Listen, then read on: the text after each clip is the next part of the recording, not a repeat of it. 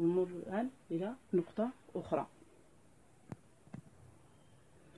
نبقى دائما مع المتجهات الإحداثية ديالها هنايا واحد النقطة مهمة هي تساوي متجهتين.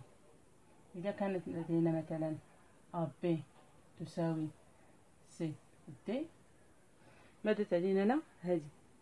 مع العلم أن تعني لنا نحط هنا أن إحداثية AB كما رأينا هي x B ناقص ناقص x A و y B ناقص إكغيك أ نعم.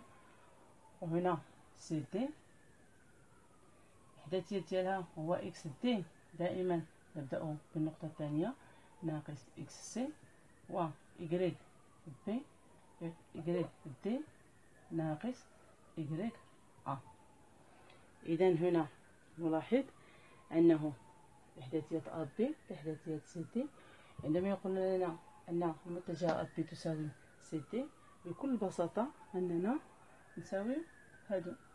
هادو متساويين مع هادو. هذا يعني ماذا؟ يعني أن X B ناقص X A تساوي X D ناقص X C.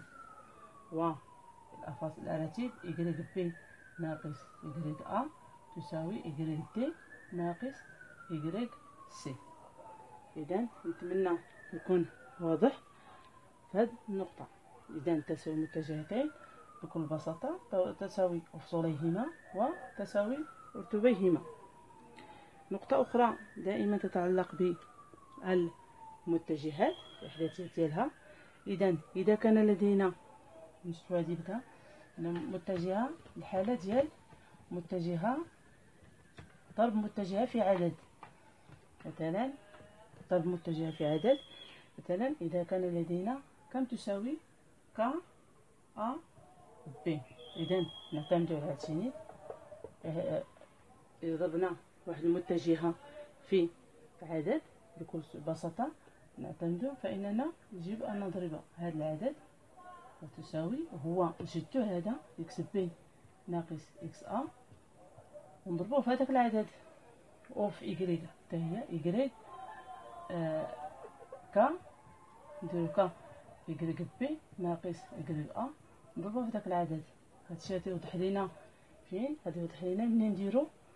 أمثلة في هادشي. إذا نتمنى تكون نقطة واضحة. باقي لنا نقطة أخرى تتعلق بالمتجهات. وهو مجموع متجهتين. مجموع متجهتين. فاش تكون عندنا مثلا